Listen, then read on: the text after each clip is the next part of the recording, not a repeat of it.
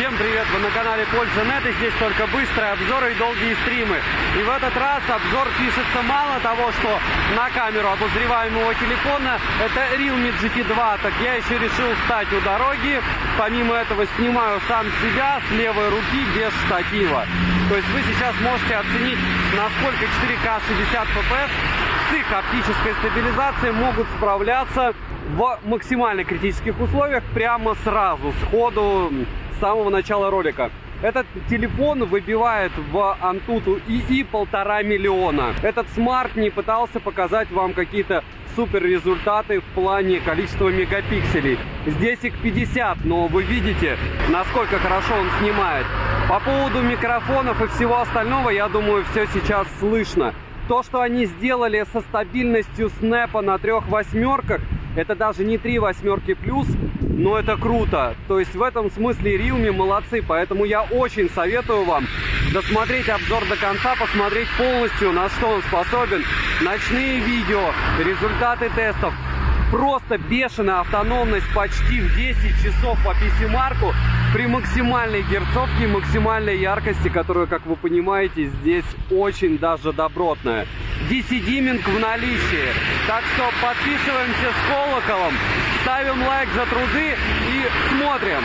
По поводу телефонов и не быстрых обзоров на них, сразу хочу сказать, что если вы посмотрите без скрытия данных смартов, без резюмирую и без примеров видео, по большому счету в X2 обзор будет занимать минуты 4. Но вы же понимаете, что, допустим, то, как все это дело преподносится, когда вы покупаете это через Китай, через Али, то, как э, приходит вам это дело, допустим, сбитые углы и все остальное, имеет значение эмоции какие-то все равно имеют, потому что это уже даже, наверное, не сотый телефон, который я за последний год покупаю. GT2. GT1 был волшебным. GT2, я надеюсь, будет не хуже. 12 гигабайт оперативы. Кто бы мне года два назад сказал, что я буду говорить, ну неплохо, но не удивительно, где-то уже есть 16. Но вот так. 256 внутрянки, 99,9 в периоде, что там никакой возможности запихать карту памяти нет. Realme в плане пакинга вообще себе не изменяют. То есть вот у нас GT Neo 2, GT GT Neo 2T, GT2 и все плюс-минус одинаковое, если вы видите черный цвет, а не желтый у Realme это значит премиум. Что мы имеем внутри? По спекам я вам говорить сейчас специально ничего не буду. Версия GT2 выглядит классно. RMX 3310. Прямо как Nokia 3310, кодовое название. Может быть, они мечтают, чтобы она была настолько же популярна, эта мобилка. Но учитывая, как часто и много продают Realme и покупают Realme именно на Али, потому что в российском ритейле цены на них, ну не сказать запредельно, они бредовые. То есть GT Neo должен стоить 21 тысячу рублей. Э, Master Edition стоит 16, 17, 18, 19 на Али, учитывая, как курс просел. Чехол, кстати, не особо плохой. USB-A на Type-C. Dart Charge. Да, 65 ватт, 6,5 ампера и 10 вольт. После этого можно будет извлечь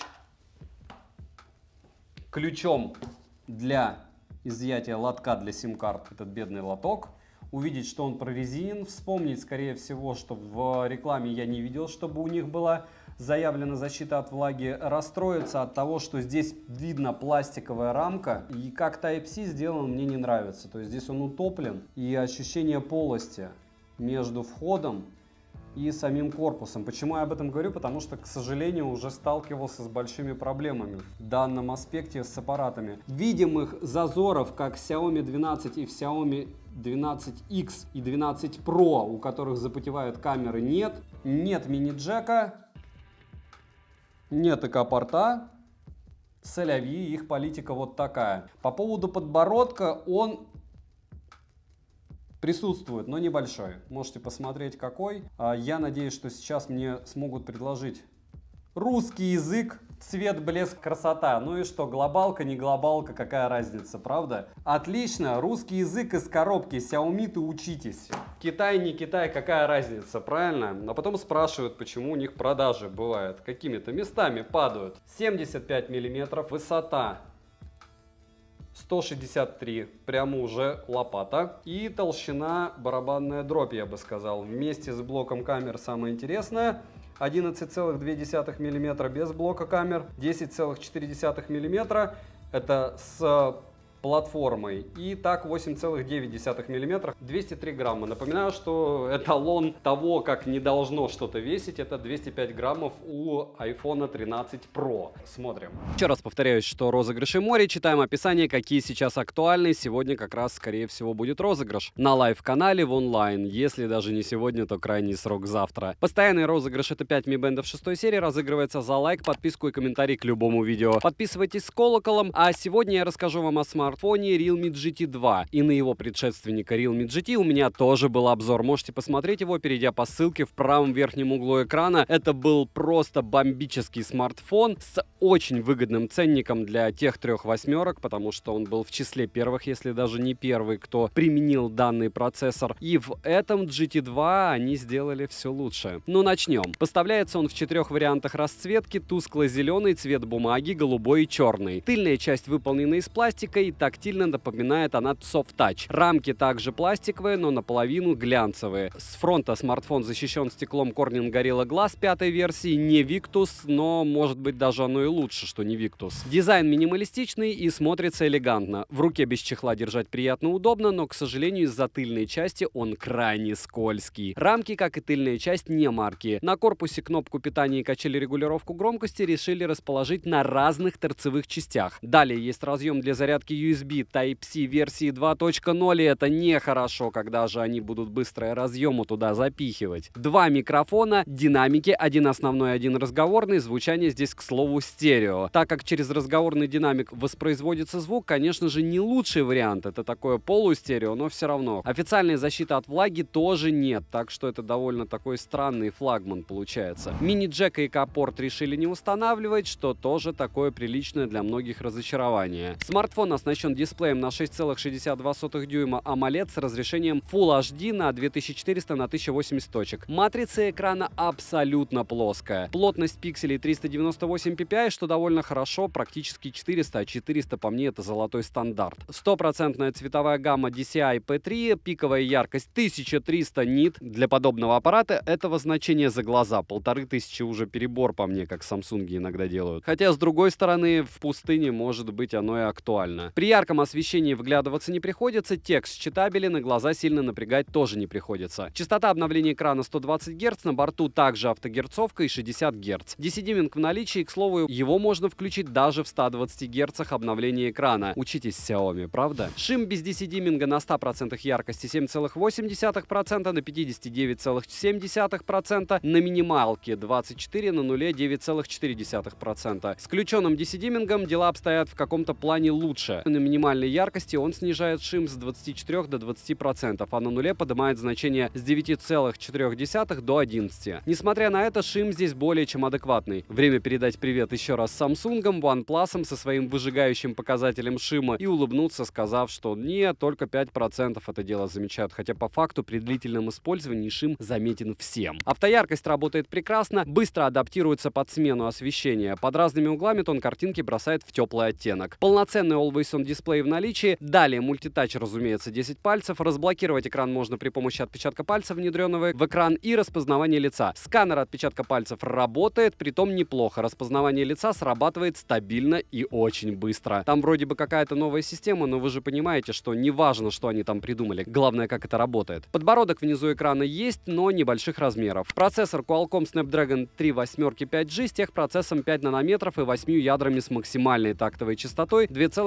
2,84 ГГц. К слову, 8 Gen 1 они запихали, но версию Pro она у меня тоже будет на обзоре. Я ее купил, очень долго выбивал, продавец не хотел мне никак ее посылать, потому что их раскупили в Китае, но вроде бы нашел, послал, так что обзор будет. Графический процессор здесь на обвесе Adreno 660, интерфейс Realme UI 3.0 и Android 12. Оперативная память LPDDR5, внутренняя память UFS 3.1 и на выбор 128 или 256 гигабайт. И расширить ее SD-картой нельзя. А вот оперативку можно расширять в настройках на 3, 5, 7 гигабайт, но мы все понимаем, как это работает. Имеется поддержка высокоскоростного Wi-Fi 6 улучшенной версии, поддержка 5G сетей, что нас не особо интересует. А вот у 4G Band 7 на борту, 20 же не завезли. С другой стороны, если у вас город больше 50 тысяч человек населения, вы не уезжаете в глухую деревню, вам это вообще никак не актуально. Связь ловит смартфон отлично. Звучание при звонках хорошее, запись разговора в стоке, без уведомления собеседника о начале записи, которую никто не не любит. Вибра нет опорной, настроить можно интенсивность при звонках и уведомлениях. Dolby Atmos на борту, но только для внешних Bluetooth устройств. Bluetooth версии 5.2, NFC поддерживается и Google Pay встает без проблем. GPS двухдиапазонный, имеется GPS, GLONASS, Galileo, Beidou и QZSS. Тест на холодную показывает точность 3 метра, при условии, что рядом есть высотки. Емкость аккумулятора 5000 мАч. PC-марки выдал космические для этого процессора 9 часов 27 минут, осталось еще 20%, и тест я проводил при 120 Гц на максимальной яркости. Заряжается в выключенном состоянии с 0 до 70% от родного адаптера питания с помощью быстрой зарядки родной на 65 Вт за 30 минут. Полный цикл зарядки в тех же условиях составил 50 минут. Я более чем уверен, что в включенном состоянии он зарядится с 0 до сотки менее чем за 35 минут. В комментах напишу, за сколько получилось, потому что несколько раз гонял и не понимаю, он опять рандомно как-то по времени заряжается. Поедает 6% за 30 минут просмотра на YouTube на максимальной яркости при 120 Гц по Wi-Fi. За час игры в Genshin Impact улетает 42% на максимальной графике при 120 Гц и 100% яркости. Результат неутешительный, но играть более чем комфортно на максимальных настройках. Фризов я не наблюдал, экран яркость не понижал, только вот до 45 градусов аппарат нагрелся. Но это мелочи жизни, тем более сейчас зима, радуемся, греет. Беспроводной зарядки нет, и это тоже не является отличием, конечно же, флагмана, потому что у флагманов должна быть беспроводная зарядка. Посмотрите на OnePlus 9 Pro. Понятно, что уже 10 Pro есть, но у него и защита от влаги, и беспроводная зарядка, и также он продавался на распродажах за 37-40 тысяч рублей. Тротлинг тест вначале показывает хорошую производительность, далее идет на убывание, что является стандартом. В Geekbench 5 в сингл-коре 1139 баллов, в мультикоре 3255. В 3D-марке показал Wildlife 5845, Wildlife Extreme 1538, Wildlife Stress Test 5847, Wildlife Extreme Stress Test 1523, Slingshot Extreme и Slingshot на максимуме. Данные Antutu порадовали, выдал результат в неплохие 810 тысяч попугаев, а также в АИ-тесте аппарат выдал космические полтора миллиона. И это имеет значение всем, кто не понимает, что дают эти тесты и что происходит с аппаратом, если он там много выбивает и куда это девается, почитайте, пожалуйста, описание тестов и поймите, что это очень хорошая характеристика для многих задач, включая рендер видео, ваши фотографии, ваши игры, то, каким образом он обрабатывает тот или иной звук при записи, ваши разговоры, вообще все. Потому что фактически у вас в руках компьютер. Другое дело, что он компактный. Storage тест показал очень приличный 64 тысячи, которые даже не свойственны UFS 3.1. По максимуму Realme все выжимают за счет оболочки и алгоритмов. 54-минутный стресс-тест прошел, и результаты вы видите на экране, не печаль. Основной блок камер с тыльной части состоит из трех модулей и двумя LED-вспышек. Основная на 50 мегапикселей и оснащена она нашим привычным сенсором Sony IMX766 с оптической стабилизацией. Сверхширик на 8 мегапикселей с углом обзора в 119 градусов, макрообъектив на 2 мегапикселя с фокусным расстоянием 4 сантиметра, запись видео доступна в максимальном разрешении 4К 60 FPS и снимает она без ограничений по времени. Фронталка расположена в правой верхней части экрана с сенсором Sony IMX471 на 16 мегапикселей. Максимальное разрешение для съемки видео фронталки 1080p 30 FPS. Основная камера в дневное время справляется действительно хорошо, стабилизатор показывает плавную картинку без смазанных деталей, фронталка печальнее работает в местах с хорошим освещением, но лучше, чем Realme GT однозначно. И вообще, что я видел у Realme, наверное, только у Master Edition более-менее примерно такое же качество видео, но не на основную камеру. В ночное время, как и всем камерам в смартфонах, приходится тяжеловато. А вот микрофоны отрабатывают совсем нехорошо. Я думаю, вы сейчас поймете, о чем я. Короткие примеры вы сейчас увидите. Плюс вы видели вход. Разрешение 4К, вечер, гражданский проспект. А, поверхность вы сами видите, то есть это снег, неровный лед. И снимаю я все это дело с одной руки. Насколько хорошо слышно меня под вопросом. Почему? Потому что раз телефон, телефон в чехле, и два задувает довольно неплохо ветер. Картинка не самая радужная, но здесь было красиво на момент подготовки к Новому году и его проведению. Вот мы в районе Гражданского 100. Здесь новая арена. Там, где можно поплавать, поиграть в баскетбол. Если встать и сделать X, допустим, X10, это максимум на 4К, но однозначно мыло, шумы и остальные прелести. Если пробежаться, камера будет отрабатывать примерно вот так. Опять же, повторяюсь, что все это дело с одной руки и все равно отрабатывает она неплохо. Лично по мне. Ну и всеми любимый двухоконный режим съемки у Realme. И э, здесь еще добавилась такая тема, как улица. Там можно выбирать объектив, либо 24 мм, либо 50 мегапикселей основной, либо сверхширик. И это очень удобно. В самой программе логично, что я не покажу. Это для фотографии, это не для видео. Но круто сделали.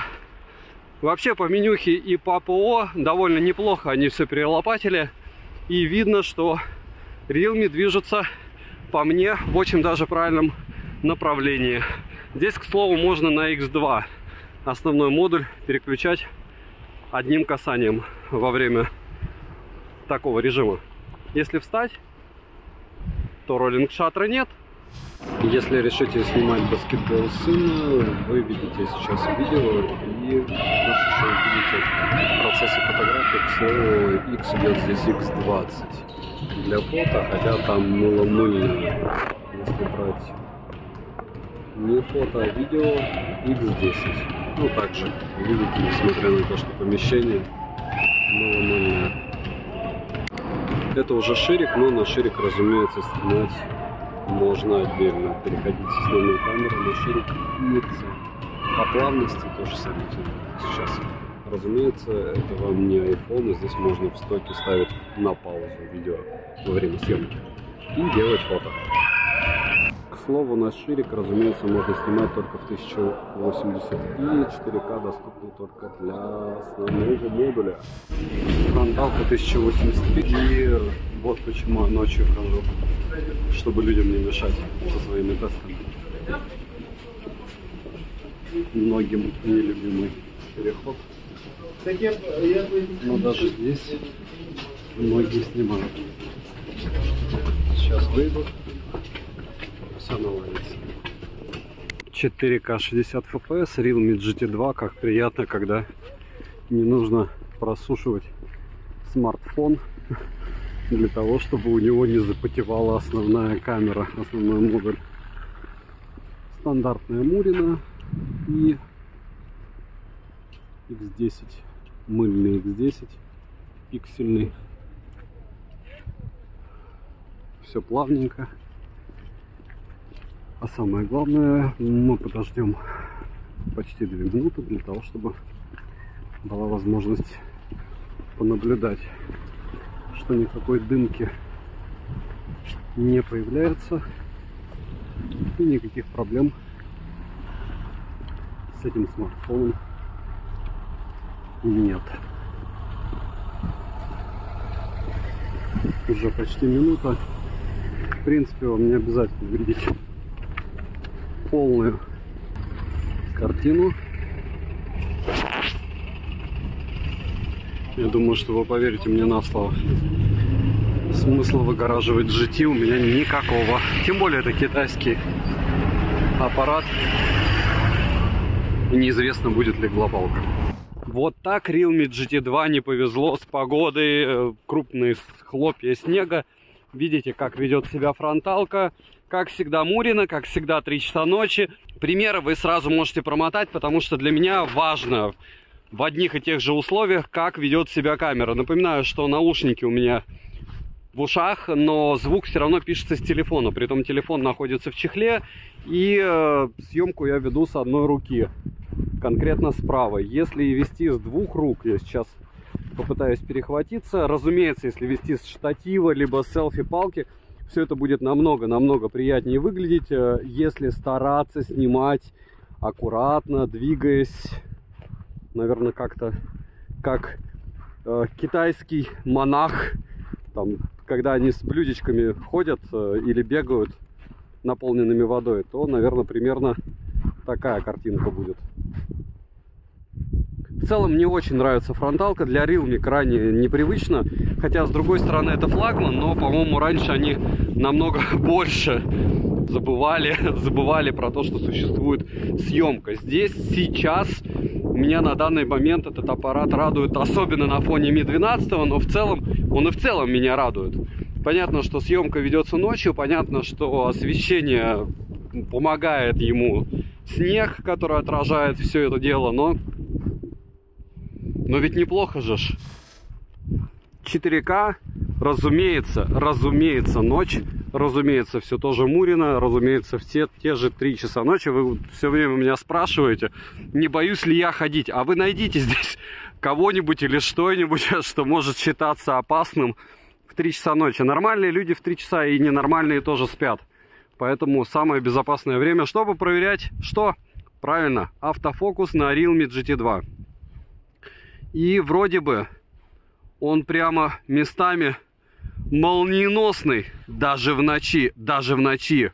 Автофокус Realme GT2, хотя на экране я вижу легкие передергивания, но в целом мне кажется, что все от, отлично. Все даже великолепно. Сейчас попробуем забежать на лестницу с камерой и не растянуться, чтобы вы не увидели вблизи ступенечку.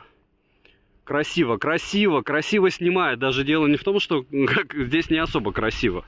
Снег, э, хлопья красиво, а вот урбанистический вот этот одинаковый вид для многих является чем-то не особо приятным. Я это дело, честно, люблю. Я за города. За городом жить бы я не смог. И так пожил достаточно. В целом, вы в курсе теперь, каким образом камера снимает. Надеюсь, все было максимально информативно. Ввиду того, что я уверен, что ваши условия съемки будут намного лучше, вы же не будете снимать в шторм. Realme сделали огромный шаг вперед по поводу камеры. Это просто космос. То есть э, мне прямо интересно сравнить ее с Xiaomi 12, если у меня получится окончательно убедиться, что я его не повредил своим высушиванием, то, наверное, буду сравнивать.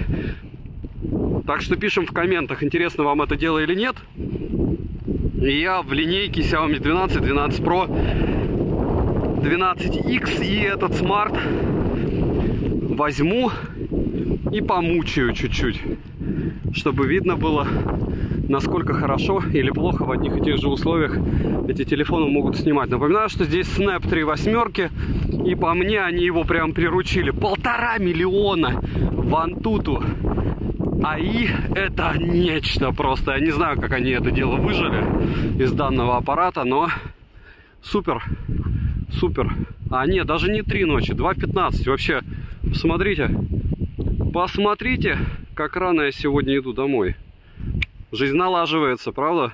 Вот, допустим, а, вы видите, как на основную камеру происходит съемка, плюс происходит съемка на селфи-камеру одновременно. Мы здесь можем делать X10, и если стоим, и освещение неплохое, ну прямо, ну хороша картинка. Что так, что так. Пишите, может быть мне как-то что-то чудится, тем более у всех разные экраны, у всех разные потребности, возможности и взгляд. Хорошо, когда есть возможность выбрать, правда? Но режимы в стоке это всегда полезно. Разные режимы. Ну и немного, насколько все-таки по-разному снимают камеры. Основная по стабилизации фронтальная. То есть фронтальная сейчас снимает меня. Основная камера снимает то, что in front of me, впереди меня куда я иду. Вы видите, насколько отличается стаб и видите, насколько отличается качество, в принципе, даже в этом маленьком квадратике. А особенность в том, что здесь можно делать X2, разумеется, и, к сожалению, здесь э, вполне возможно работает улучшалка. Ее постоянно нужно отключать, это бесит в программном смысле. Все хотят, чтобы вы выглядели лучше, даже если вы этого не хотите матрица. 4К 60 FPS, Realme GT2, и это уже, да, эпичное качество. При том, что до этого все, что я снимал в том же Мурино, было в 4К 30 FPS. Я думаю, разницу вы видите. Если увеличиваем вход в метро, площадь Восстания, даже учитывая, что сейчас просто безумный ветер и снег, телефон, в принципе, справляется. По поводу съемки в движении, к сожалению, сейчас каша, но вы во всяком случае сможете увидеть, как хорошо он может стабилизировать во время прогулок картинку со своей OIS оптической стабилизацией на основную камеру. К сожалению, повторяюсь, на ширик не переключить, но это не критично. Хорошие цвета, хорошая картинка, радует. И еще немного красот Петербурга. Это, к слову, про людей, которые любят жить в центре. Да, здесь очень много пыли. Да, эти дома в основном состоят из коммуналок, но не все. Где-то хостелы, где-то ресторанчики, бары. Но согласитесь, выходить в историческом центре по утрам на работу, если не приходится выдергивать и выталкивать машину, это классно. В целом, вот так снимает камера. Я считаю, что ну очень, очень достойно. Realme делают то, что делают всегда. Они берут не такое уж новое железо и начинают его оптимизировать, доводят до состояния идеала. Потому что то, как здесь работает три восьмерки и то, как здесь работают сенсоры, камера, то есть не, не побежали они за мегапикселями, посмотрите. Но и правильно сделали, потому что снимает все на голову выше и лучше, чем до этого что селфи-камера, пусть и разрешение не космос, что основная. Сейчас я, кстати, селфи здесь же и сниму. И вот селфи-камера с нулевыми улучшалками в той же локации, допустим, в движении даже буду снимать. Вы видите, до какой степени картинка детализирована. То есть можете поставить на паузу. Я не пытаюсь никаким образом приукрасить возможности этого смарта. Они примерно делают то же самое, что делают во всех брендах в их телефонов BBK и смартфонов, но ну, хорошо снимает она. Еще раз напоминаю, что все фронталки, включая iPhone 13 Pro, Pixel 6 Pro, Motorola S30, то есть все супер флагманы, они снимают, по мне, не лучше. Вы можете посмотреть примеры из Доминикана с live канала, там по 30 минут, и засветы там еще хуже. То есть сейчас у меня пасмурный день стандартно, снег стандартно для Петербурга, каша под ногами. Но смарт, насколько он может, справляется. Если убрать лицо, лицо рука, да, то все великолепно видно. Если нужно фокусироваться на лице, к сожалению, остальное теряется. Но неудивительно, практически теряется. Как у всех.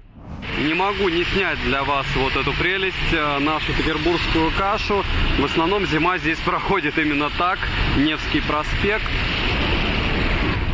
Там площадь Восстания. И я буду двигаться, разумеется, к Казанскому, разумеется, к Дому книги и, разумеется, покажу вам еще чуть-чуть гостиный двор, в каком он состоянии. Ремонтные работы, как всегда, будут весной, чтобы чистить фасады эти все. Приезжайте, посмотрите, но не сейчас. Сейчас не на что смотреть. Вот в этой локации я снимал сейчас вход. Это Аничков мост и было громко, потому что там были машины.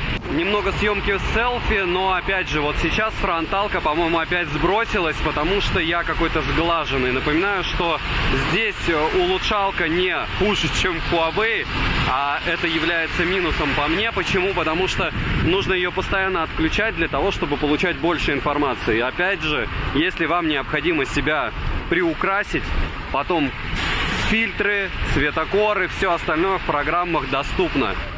Смарт должен максимальное количество информации вам давать при съемке, а дальше уже вы рисуете. С другой стороны, если не хотите заморачиваться, то, наверное, идеальный вариант как раз не отключать ретушь и снимать. Как будто вам на лет 10 меньше. Или 15, или у кого-то даже 30. Будем считать, что это user experience. Вот сейчас ретушь на фронталке стоит на 50%. Плюс слева вы видите стандартную программку. Это вшита в стоке камера Елисеевский магазин. Помимо Елисеевского магазина Екатерининский сад. Э, сюда даже, кстати, можно зайти. Очень круто, учитывая, что у нас вроде бы, ну не вроде бы, А сейчас эпидем-ситуация вро- вроде не позволяет гулять в подобных местах, но нет. Все красиво, никого нет. Сегодня у нас пятница, так что я думаю, где-то через часа три здесь будет много людей. Но, а, опять же, чтобы хорошо здесь более-менее отдыхать и хотя бы где-то покупать еду, а не вот, не вот так, э, у дороги необходим QR-код, необходимо заморочиться. У меня его нет. Поэтому, поэтому я покупаю кофе там, ну, в подобных местах. Что великолепно, с гостиного двора украшалки еще не сняли, не все во всяком случае. Поэтому слегка это все выглядит празднично, если не считать вид, собственно, Невского проспекта, но здесь ничего ни от кого не зависит. Вы же понимаете, погода. Немного Казанского собора с одной руки. Вы видите, как хорошо получается при данном освещении. Опять же, снег закончился. Дом книги компании Зингер когда-то. И канал Грибоедова. В целом не вижу разрывов, не вижу, чтобы стаб не отрабатывал. Если с икса с одной руки пытаться увеличить до, получается, 6, 7, 80, 4К 60 FPS, разумеется, мыло. Возможно, как-то будет на большом экране по-другому, но мне кажется, что нет. Минусы нет, мини-джека нет, ИК-порта, урезанное стерео, фронтальная камера имеет всего лишь 1080p 30 fps. Если бы еще 60 fps докрутили, вообще бы было отлично. Если промокоды посмотрите в моем телеграм-канале, также по ссылке в прикрепленном комментарии, вдруг на момент вашего просмотра появятся скидки, а вообще сейчас идет sale. Так что в период сейла я однозначно его советую покупать, несмотря на мое резюмирую. И резюмировать хотелось бы, держа вот эти три аппарата в руках. Первое это X12 Xiaomi, 12 Pro и просто 12 12. 12 и X12 не особо отличишь. К чему я их всех держу в руках? К тому, что у них запотевали линзы изначально, как только я их получил. После того, как я их в Антуту чуть-чуть прогрел, с, разумеется, вынутыми слотами под сим-карты, они перестали мылить. Но эффект от того, что ты получаешь смартфон, у тебя какие-то проблемы, при том серьезные, остался и после вкусия. По поводу GT2, эффект того, что он обалденно снимает, у меня, конечно, прошел. Потому что когда все это я посмотрел на экране, посмотрел мой оператор Игорь, он сказал, что супер вау нет. Но с другой стороны, если сравнивать просто с GT, который я тестировал, ну, считайте, полгода назад, но это небо и земля. То есть они сделали хорошо. Да, они не сделали лучше всех на рынке. Я его специально перепроверил, покупал со всеми кэшбэками в районе 40. То есть за 40 тысяч рублей адекватные три восьмерки, полный фарш внутри, оптическая стабилизация. И то, что он из коробки может все, ну, это меня прям безумно порадовало. Плюс я рад, что Realme вместе с BBK повернулись лицом к фронтальным камерам. Она здесь хорошая не сравнивая с OnePlus и подобными топами, которые тоже хуже. GT2 Super, GT2 Pro скоро будет на канале. Смотрите примеры съемки вот этого дела без запотевания на live-канале и примеры четырех смартфонов с Доминиканы. Опять же, специально не заморачиваюсь особо, расписывая вам мое мнение. Я просто все снимаю в полевых условиях. Если вам кажется, как некоторые блогеры советовали, идеальный вариант снимать это в студии, где у меня свет 5600 кельвинов, все правильно расставлено, я подмазан бываю. Ну хорошо, давайте будем думать так. Я считаю, что примерно вот в таком мире живете и вы, к сожалению или к счастью. И вот в этом мире мы с вами и будем снимать на данные смартфоны. По остальным вопросам к этой железке у меня претензий нет никаких. Пишите ваше мнение по данному аппарату, обязательно подписывайтесь на канал, пишите, что еще купить на обзоры. Напоминаю, IQ00Z Pro девяточка на канале будет. GT2 Pro тоже будет. Разумеется, будет Black Shark, который мне никак не могут выслать. В принципе, я думаю, нам хватит до серединки февраля. Там я еще чем-нибудь закуплюсь. На это все дело, разумеется, обзоры на канале. Спасибо за просмотр. Девайсу однозначно и бесповоротное да. Добра и удачи вам, дорогие друзья.